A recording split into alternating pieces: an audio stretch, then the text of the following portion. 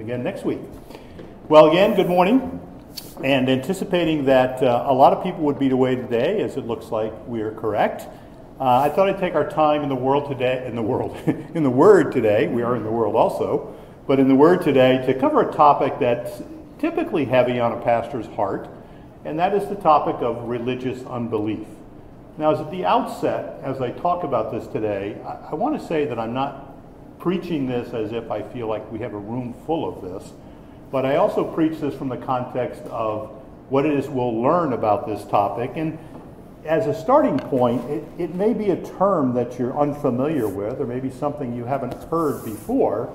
So I thought I'd just start by telling you what it means, and then we'll begin to look at the topic itself. So here's how I define it religious unbelief is the absence of authentic faith manifested by an external show of religious activity in various different forms, but a heart that is far from God. Okay, so let me say that again. It's an absence of an authentic saving faith manifested or shown or revealed by an external show of religious activity in many different forms, but a heart that is far from God. And I think Audrey's song uh, sufficient merit is actually at the core of this message here today. Isaiah himself affirms this definition in chapter 29 and verse 13 when he says, Then the Lord said, This people draw near to me with their mouth and honor me with their lips, but they remove their hearts far from me. So again, the context of an external show of religiosity, but an internal heart that is far from God. Now, religious believers, unbelievers may confess Jesus as Lord.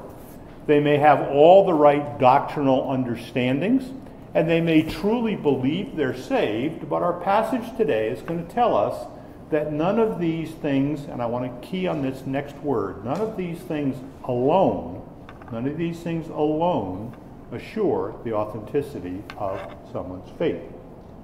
And I do think, sadly, that we will be surprised when we learn who some of these people are, because many of them will exhibit all of the qualities we would normally associate with a Christian, but the reality is that they are self deceived and they have a false assurance of their eternal destiny, which, again, as I started, is why it weighs heavy on a pastor's heart.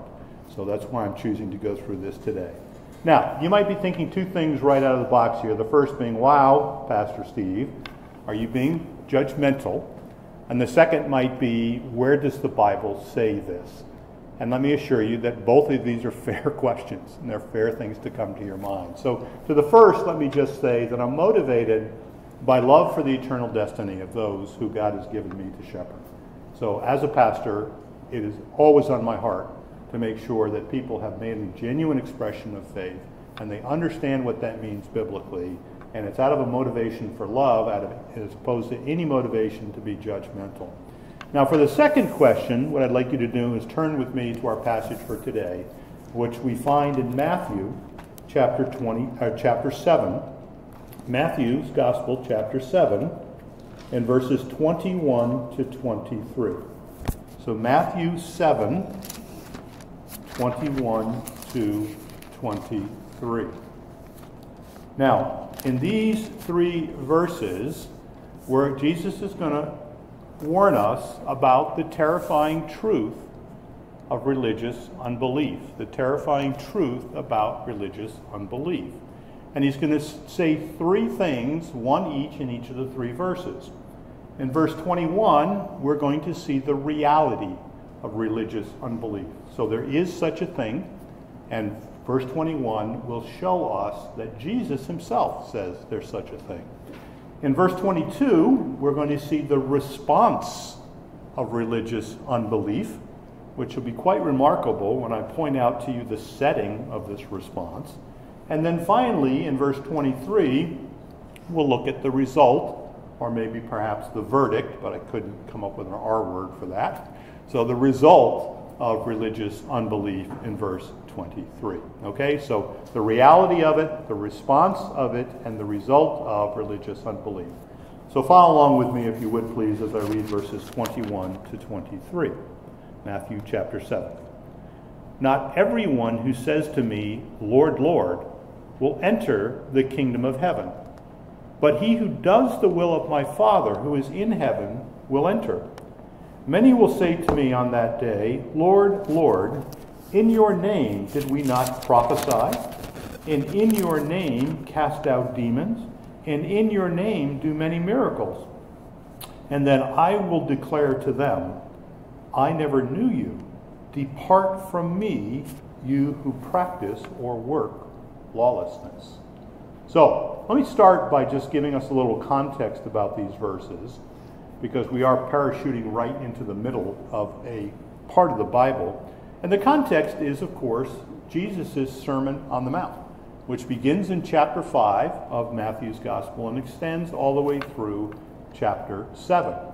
Now, this is Jesus' longest recorded discourse in the Bible, and his focus is on the character of those who are in the kingdom of heaven, or, as I began earlier, those who have authentic saving faith. And he talks about the character. It's kind of like the, the Christian constitution, if you will, if you want to think of it that way. Now, having revealed the character of authentic faith, Jesus concludes the sermon here with three warnings. And these three warnings function as tests for the authenticity of our faith. Now, the Apostle John writes a whole letter, First John, on this topic. James also kind of deals with it in his letter.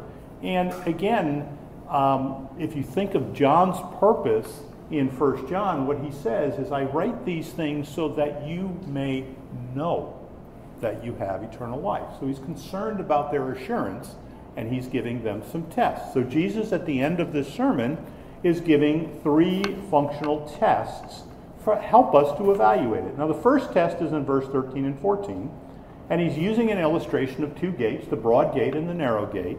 And in this one, he's focusing on the crowd that we run with, is the way that I think about that. Do we associate and identify with the masses? who are on the broad road to destruction, moving towards the broad gate? Or are we among the minority who reject the ways of the world in favor of faith and obedience to Christ? That is the narrow gate that leads to eternal life. The second test comes in 15, verses 15 to 20.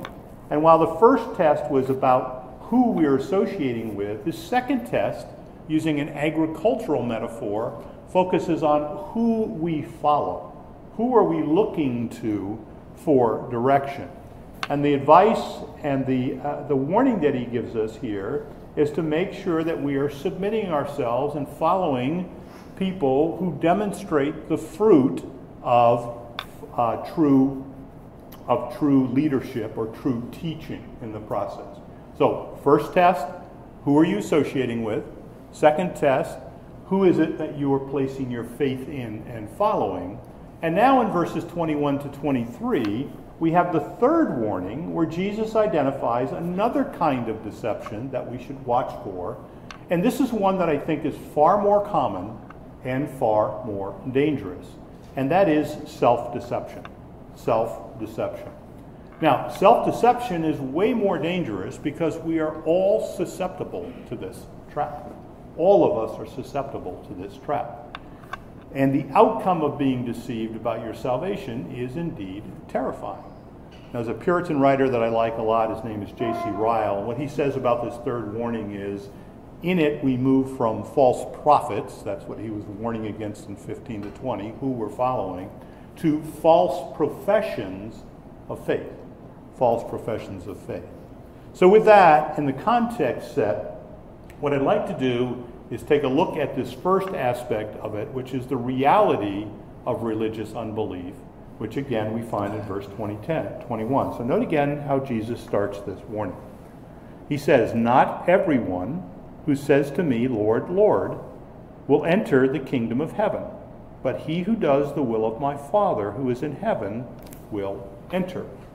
Now, as I walk through these verses, please don't just turn me out, uh, tune me out, but rather heed the Apostle Paul's warning. He gives us a similar warning in 2 Corinthians 13 as he closes the letter in verse 5, when he tells us to test ourselves to see if we are in the faith. And then he concludes, examine yourselves. So I don't want anybody here to have a morbid preoccupation about your salvation.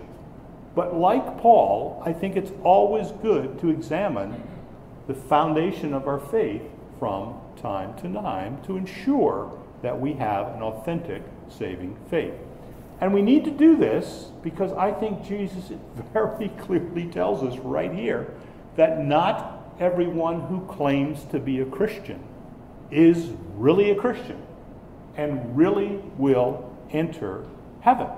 Now, for those of you in a Taiwanese context, you don't really understand this, but in an American context, if you were to poll an average American, probably four out of five would tell you that they are Christians.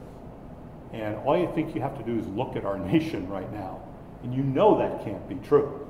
But the fact is that a mere profession that you are a Christian or a claim of being a Christian does not ensure that you are. And Jesus says, not everyone who says this is going to enter into eternal life. So, kind of first question is Is there such a thing as religious unbelief? And I think Jesus surely seems to think so. And what he's going to do in this first part, uh, in verse 21 entirely, is give us four measures to help us test the authenticity of our faith. So, four measures he's going to give us to test it. Now, the first three are going to be found in the opening words of verse 21, or the first half of it, and they express three measures of inadequate faith. So, three inadequate marks of authentic faith. And these are marks that fall short of a faith that Jesus is going to say, Well done, good and faithful servant, enter into my rest. So, the first of these inadequate ones is a confession of faith alone. And we see it in these words. Jesus says, Not everyone who says, okay, not everyone who says. So, in other words, not everyone who claims some affiliation with, some association to, some confession of Christ, which will be Lord, Lord, and we'll look at that in a second. Not everyone who says this is going to enter the kingdom of heaven. So, simply stated, authentic faith is more than just a confession alone. I'm going to say that word alone many, many times again. Now, it's more than just claiming Christ's name. But here's the paradox, or maybe here's the tension. Though a confession is required part of authentic faith, is it not? What, what does Paul say in Romans chapter 10. You have to what? Confess with your mouth and believe in your heart, and you will be saved. So here we are saying it, it, it's not a confession, and that's why I'm using this word alone. It's not a confession alone. But yet, a confession is a required part of an authentic faith. Now, it may sound like I'm talking out of both sides of my, my mouth, so what do I mean by that? So, first on the inadequate side, I think what Jesus is saying is something like this If you're basing your salvation exclusively on some prayer you prayed, or some experience you had, or maybe a response to an altar call, then you might want to question the authenticity of your faith. Now, I underscore this word might. I'm not saying you are or are not, but you might want to save that. There was a German during World War II, Dietrich Bonhoeffer. He was a Christian and he did a lot to try to counteract Hitler, uh, paid for it with his life. But he famously calls this cheap grace. And it's characterized by what I, something I call is easy believism, which is simply a confession of faith with no correspondent change in how you live your life. Okay, so a confession of faith with no change in how you live your life. You can't just pray a prayer and say, I'm all good, and keep on living the way you've lived all the way before, and have an assurance and a confidence that that prayer is going to save you. Now, just to, by way of self disclosure, this was certainly true of my own life. Now, I've shared my testimony in that it was later in life that I came to faith. But in college, I did respond to an altar call. was somebody I was dating. She was a professed Christian. She said, I got to go to church. I said, okay, I'll go to church. And went enough times with her till then one day they made the altar call. So, for those of you in Taiwan that may not know what that means, it means that the pastor at the end of the service invites people to come forward and accept Jesus and as their, as their Lord and Savior. So, for whatever reason, there was one of those days when I found myself getting up out of my seat. I went forward. I prayed a prayer, and he told me he prayed the prayer, and I got the pats on the head. Okay, you're great. You're all good. And for 30 years, my life didn't change a bit. Uh, it just didn't change. So I look back at that and I say, gosh, what, was I genuinely saved? Well, based upon what we're looking at here this morning, I, I don't think so. And if the Lord had chosen to take me before then or before 48, when I do believe I was genuinely saved, then I was placing my hope and my faith in something that wasn't sufficient or was inadequate as authentic faith. Okay, so the first of these inadequate things is this confession of faith alone is inadequate. Yet remember my paradox, but it is, of course, part of genuine faith. Now, the second of these is the content of the confession alone. The content of the confession alone. And that, that is inadequate. And here's our attention, the attention again. The content or the words of what you're confessing alone, alone, alone, alone, I'll repeat that, is inadequate, though we surely need to have the right doctrine. Correct? We, we have to believe the right things, but believing the right things alone, Jesus is going to tell us, is an inadequate uh, measure of authentic saving faith. Now, here's how he says that the, the people that he is speaking to or addressing, he is saying, call him Lord. Okay, so not everyone who says Lord. Now, this is a theologically loaded word. Anybody calling Jesus Lord at that time was acknowledging both his deity, they were saying, You are God, and they were submitting to his rightful rule over their life. So they were making a doctrinally rich confession, a doctrinally correct confession about their faith. Okay?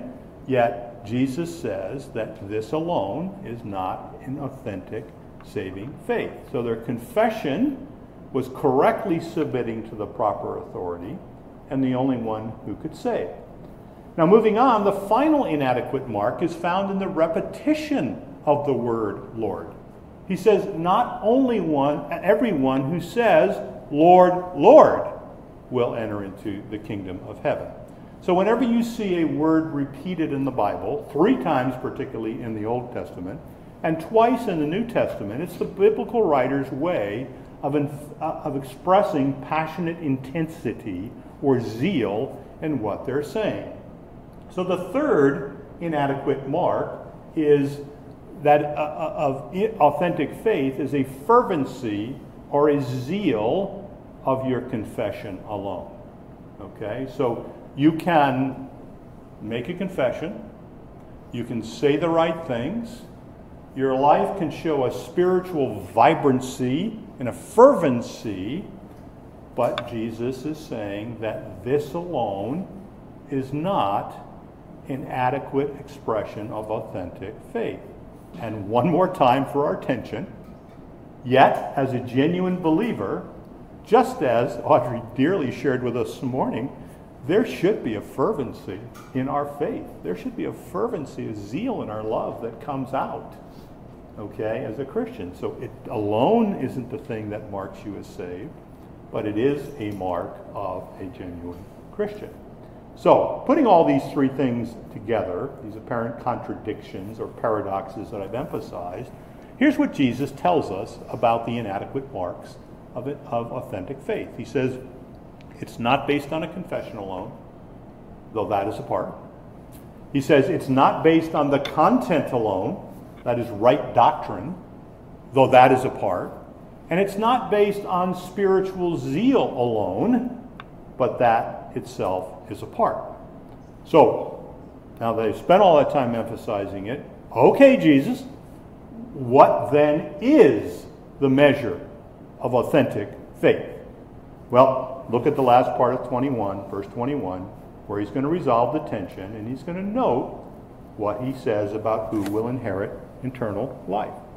So note what he says again. He says, not everyone, okay? That doesn't that means some will, okay, who say these things, but not everyone who says these things, meaning Lord, Lord, is going to enter the kingdom of heaven. But, so we have a contrast, who will? He who does the will of my Father who is in heaven will enter. Okay? So, what is the mark of authentic faith? Thoughts? Any thoughts? What's the mark of authentic faith then? As in terms of Jesus' words here, what's he saying? How would, might you synthesize that? Can you think of two words? Okay, that's the one word. Absolutely correct. And I'm going to append that with an adjective persistent obedience. Okay? Jesus says that persistent obedience is the mark of authentic faith. Now, obedience to what? Well, he says it right there the will of God. What does that look like? Well, we could have chosen a ton of passages, but I'm going to choose this one. So stick your finger in Matthew here, and let's turn to Romans chapter 12. Romans chapter 12, and look at verses 1 and 2. I think this is as good an expression or summary expression of the will of God as we can get without reading a ton of passages. So, Romans chapter 12, verses 1 and 2, Paul says this After 11 chapters of the deepest and fullest doctrine of salvation, Paul is going to spend the last four chapters, well, 13, 14, 15, 16, five chapters, um, uh, telling us how to live out our life based on that. And here's what he says, well known verses, I'm sure, to all of you. Therefore, therefore what? Everything I just told you, I exhort you, brothers, by the mercies of God to present your bodies as a sacrifice, living, holy, and here's my favorite word, pleasing to God, which is your spiritual service of worship. Do not be conformed to this world, but be transformed by the renewing of your mind, so that you may approve what the will of God is. Okay, what is that? That which is good and pleasing and perfect. So, what's the will of God? That which is good, that which is pleasing, pleasing to who? Pleasing to God, and that which is perfect. So, what's the standard? it's perfect, and that's kind of a hard one to get to. All right? So, turn back, if you would, to Matthew's Gospel, if you uh, go back there. Persistent obedience to the will of God, then, is this essential mark that Jesus wants his hearers to hear regarding measuring the authenticity of your faith. Luke says it this way in 646 in his parallel passage Now, why do you call me Lord, Lord, and do not do what I say? So it's completely inconsistent to Jesus and a total non starter for you to be claiming him as Lord and not doing what he tells you to do. So, again, much more succinct way to say the same thing and not leaving the tension. So, as we leave verse 22, I, I do want to kind of highlight three things because I think there can be some confusion here that we have to be careful with. First of all, Jesus is not promoting here a works based salvation. In fact, he's not teaching about salvation itself in terms of how that occurs at all. But rather, what he's teaching about is how to know whether your faith is authentic. Now, I don't know if this ever goes through your heads, but there are certainly times in my life when I stop and say, man, are you, are you really saved? I mean, look at all the mess you make of things all the time. And, and I have to stop and think about it. Usually it's the Lord's, the Holy Spirit's way of getting my attention and perhaps pointing out something I need to confess and stop doing and repent of. But there are certainly times when this question comes to my mind, and I'm encouraged by verses like this so it's giving us kind of these measures of authenticity. It's not telling you how you're saved, it's telling you how you can evaluate the authenticity of your faith. Now, turn again to another passage because this is the whole point that James makes in a very controversial passage. So put your finger in Matthew and turn back to James chapter 2. And James is going to just tackle this thing very head on, this idea of works and faith. Okay? James chapter 2, verses 14 to 26. So let me read through there. James says, What use is it, my brothers, if someone says he has faith, but he has no works? Can that faith save him? So, where's the starting point? Starting point is there is a non authentic faith. There is a faith that says it's a faith, but he's going to go on and say, How can that faith save him if it's all it is you're saying? If a brother or sister is without clothing, so he's going to give us an illustration, and in need of daily food, and if one of you says to him, Go in peace, be warmed and be filled, and yet you do not give them what is necessary for their body, what use is that? Right? Now, I, am not sure any of us do that, but let me tell you one of the practical ways that we do that is when we say, well, I'll pray for you. And then what happens? Goes in one ear, picks up speed, goes out the other ear. You know, so you've told him you're going to pray for him. Did you pray for him? So here we go. You're doing it in a physical need sense. Even so, faith, if it has no works, is dead by itself. But someone will say, You have faith and I have works. Show me your faith without the works, and I will show you my faith by my works. Okay, so he's starting to develop his argument. He's saying there's no contradiction in these two things. And in fact, the evidence of an authentic faith is a faith that is working itself out in practical things.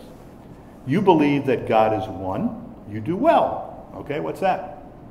Good doctrine, right? That's good doctrine. What does he say? The demons also believe, and they shudder. But you're willing to recognize, but are you willing to recognize, you foolish fellow, that faith without works is useless? Was not Abraham our father justified by works when he offered up Isaac as his son on the altar? So, what's his illustration? Remember the story, right? Back in Genesis 22. Uh, Abraham takes his son to sacrifice, Isaac, right? And he's going to go through with it. And God says, Whoa, hold on. I'll provide the ram, right? And he says, Your faith, your faith that God was not going to let this child stay dead. It's justified you. It's demonstrated you have a real faith, a belief in me. You see that faith was working with his works, and as a result of the works, faith was perfected. And the scripture was, was fulfilled, which says, And Abraham believed God, and it was counted to him as righteousness. And he was called the friend of God. So we'll stop there. Turn back to Matthew. The point there, and then Paul makes just almost the same point and that is that faith and works go together. So if you take the much shorter passage in Ephesians chapter 2, 8 to 10, we all probably know verse 8 by heart, right? For you have been saved by faith, I mean, saved by grace through faith. And then what comes right after that? And that's not even your own, that's a gift from God, okay? Why? So you don't boast. Now, what does he say in verse 10? You have been saved for good works. You have been predestined to be saved for good works. So the fact of the matter is, there's no tension in these two things.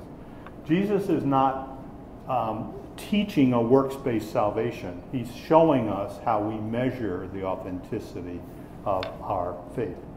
The second thing I want to emphasize, uh, and it's why I added the adjective to the word obedience, is that the measure is persistence, not perfection. Okay, the measure is persistence and not perfection. We obediently strive for perfection because we are called to be holy as God is holy, called to be perfect as he is perfect, either 1 Peter 1.14 or even in the Sermon on the Mount, I think it's verse 48 of chapter 5. So the perfection is the goal. We're not going to reach it in this life. But persistence is the measure. So is your life marked by a persistent effort to be obedient to God's will? Or is there something else that marks out your life? The works and the persistence of the obedience is a clear evidence. So, our persistent obedience to God's will, full of failure, confession, and repentance, is what sets us apart from the world. And it provides this clear evidence of a life committed to pleasing God. And then, third, by the words of verse 21, Jesus is clearly establishing himself as the end times, or the big fancy theological term, the eschatological judge. That is, he is the one who determines whether or not you will spend eternity in heaven or in hell. He alone, to use that word again, is the judge. So I hope this helps resolve the tension of the inadequate measures we've talked about. Namely, that Jesus is not arguing for the absence of a profession of faith, nor is he arguing for an absence of the right content in that profession, nor is he arguing for a lack of zeal for him in living out your life of faith. None of these are excluded, but rather his emphasis is that faith, absent obedience, is not an authentic faith, which is consistent with the other witness of Scripture. We saw it both in James chapter 2 and Ephesians chapter 2 also. Okay, well, this brings us to our second point in verse 22, which is the response of religious unbelief. So follow along again as I read the response of religious unbelief. Verse 22 many. Now notice he's jumped from every, not everyone. So he's saying there are some who will make these claims that will enter. But now he's saying many who make these claims will say to me on that day, Lord, Lord, in your name did we not prophesy? And in your name cast out demons? And in your name do many miracles? Now, don't be anxious about our time. These two are going to go a lot faster, 22 and 23. But 22 is amazing due to the setting. And the key to understanding the setting are these three little words. Not everyone who says to me, uh, I'm sorry, not many will say to me, here's the three words, on that day. On what day? What is Jesus talking about? Well, with these words, Jesus is referring to a day of judgment when unbelievers will be and face their final judgment. And what verse 22 is saying that a whole lot more people are going to hear these words than expected. Right? He's gone from not everyone to many on that day. Now, this day is probably a reference to the great white throne judgment in Revelation 20, 11 to 15. I cannot be dogmatically sure of that but it's open to some interpretation. Interpretation. But if I'm correct, I want you to try to picture the scene here that Jesus is communicating to his audience. All unbelieving dead have been resurrected, and they're going to get their day in court. They're going to get their day in court. And each one, individually, in their turn, is going to stand before the magisterial judge, Jesus Christ and upon hearing his verdict that they're not going to be entering the kingdom of heaven, um, they make a final appeal. And their final appeal is based upon their ministry service. Didn't we do these things? Didn't, didn't we do these? So Jesus, the magisterial perfect judge, has said, not getting in. And what do they do with him? They argue. They argue with him about being let into heaven. Okay? They make this final appeal and said, Look at everything we did for you. They're so self deceived that they think they can argue with Jesus and overturn his verdict. Or maybe I could say it this way they're so deceived, they think they have the right to define the terms and judge whether they enter into heaven. Now, look, at one time or another, we can all fall into this trap.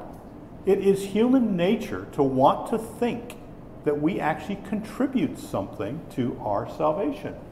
We don't get this idea of a quote, quote, free lunch. We want to feel like we've contributed something. And they're arguing with Jesus and essentially saying, no, you've got it all wrong. Don't you see what we did? And it's interesting that Jesus never denies the claim. He doesn't deny the valid validity of the claim. So he may even say, yeah, okay, yeah, you did those things, right? So I think the implication here is that maybe they did do those things. Right? We know that. We know in the end times that demons are going to do these things. Okay? But obviously there's something inadequate about their ministry efforts alone. And we find out what that is in verse 23, where we're going to see the result of religious unbelief. So follow along as we read Jesus' words again. So they've made their appeal. They're before the magisterial judge, and Jesus says, He doesn't say, No, you didn't do that. He said, No, you're wrong. No, those were worthless. He just says, I will declare to them, I never knew you. Depart from me, you who practice lawlessness. So, this is the terrifying result of religious unbelief, and that is to be exiled from the presence of Christ forever. This is it. This is the last judgment. You're done. It's over. There's no appeals. That's it. You're exiled from Jesus' presence forever. Despite someone's profession of faith, their right doctrine, their zeal for Christ, and their ministry works, they lacked one thing. And Jesus says the one thing that they lacked was that they didn't have a personal relationship with him. He says, I never knew you. You weren't mine. You didn't belong to me. They lacked a personal relationship with Christ. They don't belong. They were never transferred from the kingdom of darkness to the kingdom of light, to the kingdom of God's beloved Son. All these things that they may have done are a part of authentic faith. You have to profess Christ. You have to believe the right things about Christ. You should have a life that shows a zeal about the faith that you have, and you should be doing good works. But Jesus says, absent a relationship with Him, the one who knows His sheep, you are a religious unbeliever. And the determining factor for this condition is precisely the same measure as back up in verse 21, but stated in the negative. So notice how 23 ends. After the verdict, he says, Depart from me.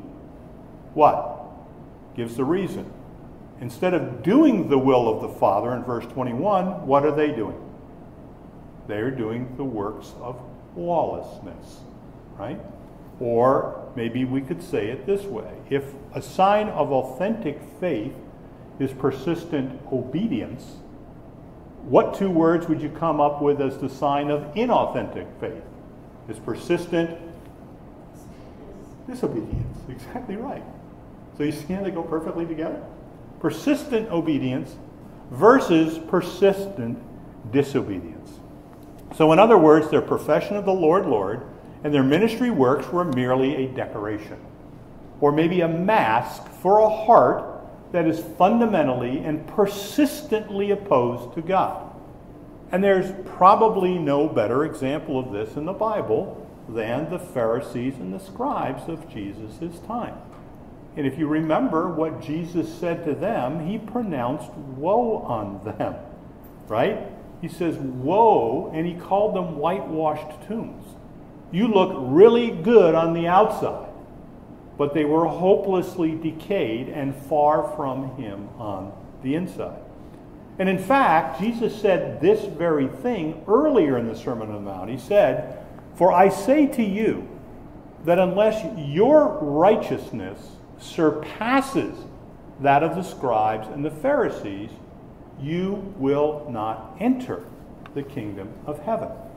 Now you have to understand that in Jesus' day, this group the scribes and the Pharisees would have been considered the height and the standard of religiosity. They would have been the poster children for them. But in reality, they were the poster children in Jesus' eyes and examples for religious unbelief. Thus, my comment earlier, I think we'll be surprised when we see how many people are in this group. And the terrifying truth for these people is that they will not enter into the kingdom of heaven. So, three aspects of this there is such a thing, the reality of religious unbelief, the response of it, this arrogant arguing with Christ, that no, no, no, you got it wrong, I've got it right, let me in. And then Jesus' final verdict or result, which is no, depart from me, I never knew you, who practice lawlessness. Your persistent disobedience is the thing that demonstrates whether you really did or really didn't make a genuine profession of faith. Now, I want to conclude by just pointing out the irony of religious unbelief. And it's this those who are locked into self deception are going to insist that they know Christ. And yet, Jesus is going to say, No, I never knew you. Meaning they don't have an authentic saving faith. And this is why I think we need passages like this. So turn to Hebrews, if you would, one last passage. Hebrews chapter 3. This is why we need the body of Christ. This is why we come together, amongst many other reasons. And follow along as I read this. Hebrews chapter 3, verses 12 and 13. It's a warning. Part of the warning passages in Hebrews is See to it, brothers, that there not be in any one of you an evil, unbelieving heart that falls away from the living God. Okay, so you may be doing XYZ on the outside, but make sure on the inside you don't have one of these. And then the encouragement here. But encourage one another, one of the many one another cans, day after day, as long as it's still called today, meaning never lose your, your, your, your, your zeal in this process. Um, you know, encourage one another as long as they, so that, why do we do that? None of you will be hardened, hardened by what? The deceitfulness of sin. So, what is at the heart of all these things? It's self deception. We need brothers and sisters around us that have the kindness of Galatians 6 1 to come alongside us and have the courage to say, hey, have you looked at this part of your life? And not at the same time be drawn into those kinds of sins. Okay, so it's important that we do that. And it's important we do that because we're easily deceived and we're hardened by the deceitfulness of sin. And the result is this terrifying truth that many will hear. And here's the most terrifying parts of that statement when it's too late. Once you've heard those words, it is too late. There's no coming back, there's no changing it. It is an eternal verdict that you will be consciously aware of forever. And forever is defined as what? A long time. It's a long time. Okay? How much better if we would just take Paul's words in 1 Corinthians 8, verses 2 and 3 to heart when he says, If anyone thinks he has known anything, meaning you're prideful, he has not yet known as he ought to know. But here's the part I love. But if anyone loves God, he has been known by him. So here's another major measure of authentic faith. Anyone who loves God, which is why I loved how Audrey shared her heart this morning. There's a genuine love, not only for God, but for those that are far from his heart. Authentic faith is not an intellectual exercise, it is a persistent obedience to God. And the first and greatest act of obedience is what? To love the Lord your God with all your heart, with all your mind, and all your soul. And the second is like it you shall love your neighbor as yourself. So, church, as your love for God and your love for others is apparent and on display, and as you consistently strive to do the will of God His way, you can be assured, you can be assured of the authenticity of your faith. Would you pray with me?